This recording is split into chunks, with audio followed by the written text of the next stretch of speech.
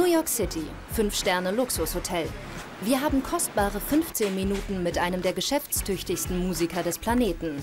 Mit geschätzten 140 Millionen US-Dollar auf dem Konto ist er laut Forbes-Liste der fünftreichste Rapper der Welt.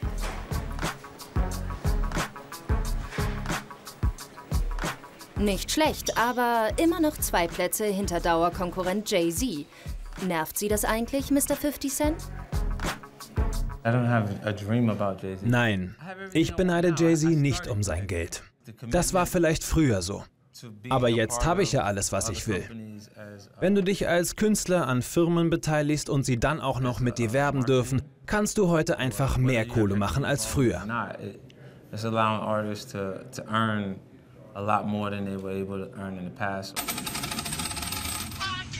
Und wenn einer weiß, wie man das macht, dann 50 Cent. Sein Imperium hat heute kaum noch mit Musikmachen zu tun. Der Rapper handelt mit Aktien, führt das Musik- und Modelabel G-Unit, ist Filmproduzent, Fernsehproduzent und vermarktet neben Autos, Körperspray und Kopfhörern angeblich auch Kondome und Groschenromane.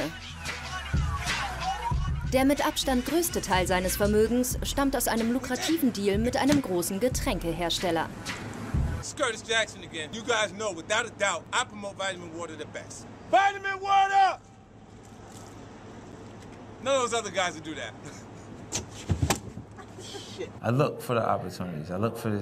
Ich suche stets nach guten Gelegenheiten, warte auf den richtigen Moment.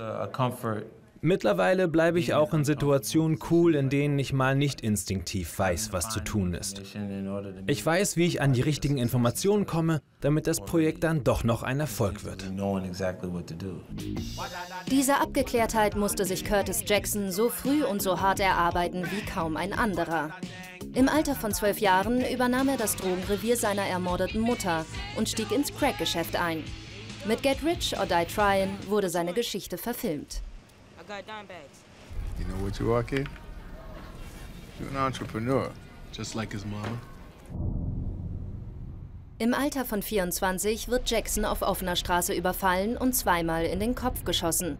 Er überlebt und fängt von vorne an. I felt like I was walking away from the old me. And the new me was being born. Dieser neue 50 verabschiedet sich vom Drogenhandel, wickelt nur noch legale Geschäfte ab und steigt mit Hits wie In the Club und Candy Shop in den ultimativen Hip-Hop-Olymp auf.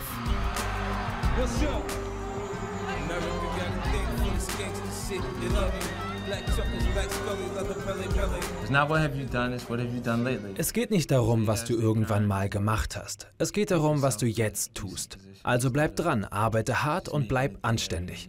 Das ist besser, als Risiken einzugehen und damit zu prahlen. Geh einfach da raus und mach dein Ding. Damit ist 50 Cent mittlerweile der wohl unwildeste Rapper aller Zeiten.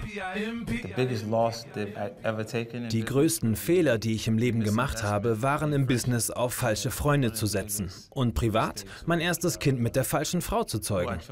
Daran erinnert sie mich bis heute. Jeden Tag. Aber auch schlechte Erfahrungen kann man zu Geld machen. Aktuell produziert Curtis Jackson in Amerika die Fernsehserie Power, ein Remake seines Lebens. Der Held der Serie versucht aus dem Drogengeschäft auszusteigen und mit einem Nachtclub legal Geld zu verdienen. Nur seine habgierige Frau ist damit nicht so ganz einverstanden.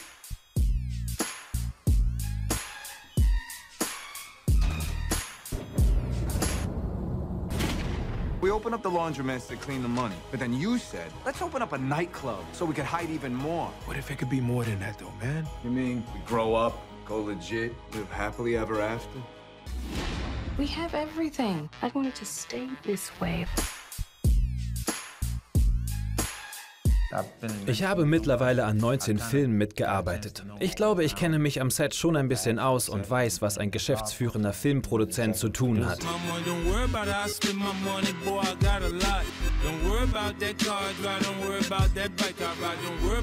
Für die Hauptrolle in Power hatte 50 Cent leider keine Zeit, denn da wäre ja noch das kleine Hobby namens Musik machen. Tatsächlich bringt der Rapper nach fünf Jahren Pop-Business-Abstinenz dieses Jahr gleich zwei neue Alben raus.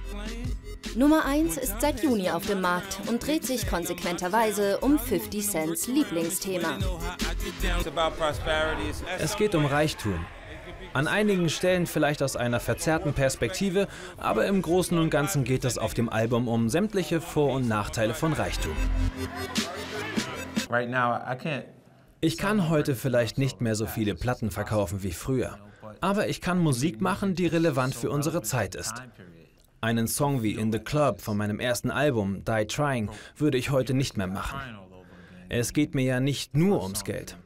Ich will mit Kreativität und Leidenschaft an meiner Musik als Kunstform arbeiten. Am Ende ist es das, was mich immer weitermachen lässt.